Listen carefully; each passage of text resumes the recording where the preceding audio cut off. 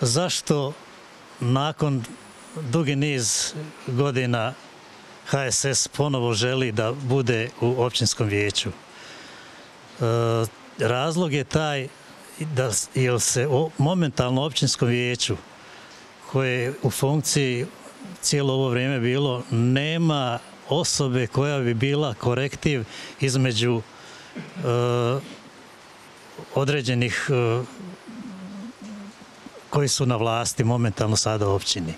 Zato je bitno da HSS ponovo vrati ono nešto što je bilo kad smo imali tri vijećnika i kad smo dobro, dobro vodili računa općini Vrba. Ja ako dobijem mjesto da budem u vijeću, sigurno ovu koaliciju koja je sada ovdje, kao što je nekad HSS radio, nijedno općinsko vijeće se nije sastalo, a da prije toga nije bio sastanak e, stranke HSS i da se razmotri dnevni red, da se daju prijedlozi koji će se predložiti na općinskom vijeću, pa ako se usvoji, usvoji, ako ne, ne.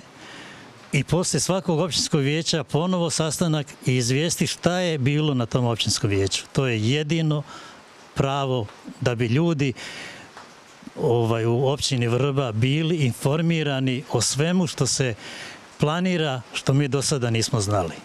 Ne, ne samo mi iz HSS-a, nego puno, puno žitelja općine Vrba nije u to bilo upoznata. E, neću duljiti, molio bih vas evo da date povjerenje ovoj listi, pa ako se izborimo, vjerujte da ćemo biti bar kad bi mogli, kako bi ono htjeli, bar tri vijećnika ili nekaka, dva ili tri. Da.